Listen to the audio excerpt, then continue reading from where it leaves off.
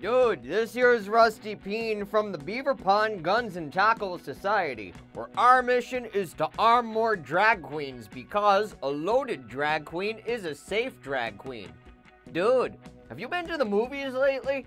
They got this shit out called The Northman. Dude, in case you don't know what it's about, let me clue you in.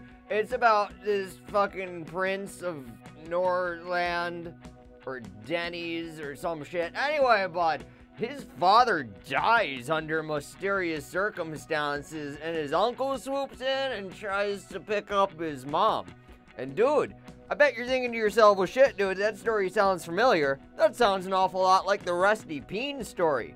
Dude, you've been following my YouTube channel. You know the story, how it goes. My pappy Peen died under mysterious circumstances while doing a cigarette delivery because his last words were, I'm going out for some smokes. Next thing you know, Uncle Iggy Peen is swooping in trying to scoop up my Peen. Dude, story as old as time, bud. I've even been trying to parse out the situation and put down my deepest thoughts to words to figure out all this shit. And seems like someone's stealing all my fucking words and notes check this shit out. To peen or not to peen? That's the question, bud. Whether it makes more fucking sense to suffer outrageous fortune or to take arms against the sea of troubles and drop kick a fucker in the fucking throat.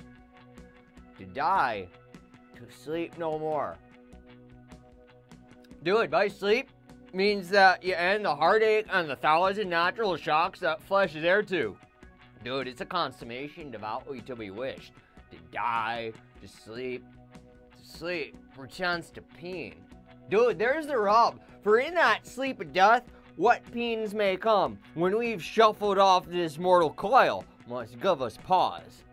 There's a respect, bud, that makes calamity a so long life. For who would bear the whips and scorns of time?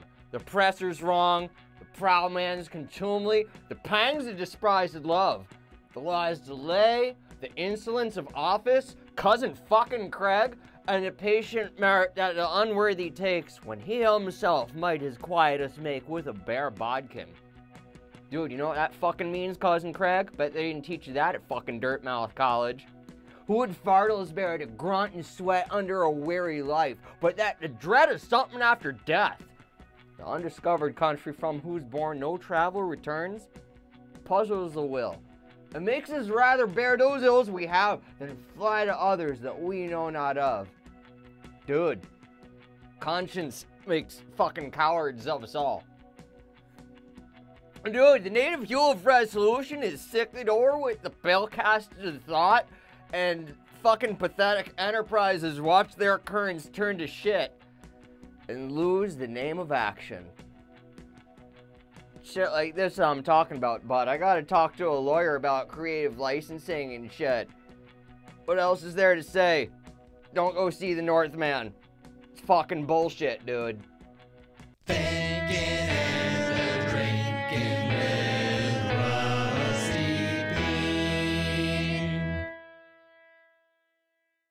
Rosencrantz and Guildenstern are fucking dead.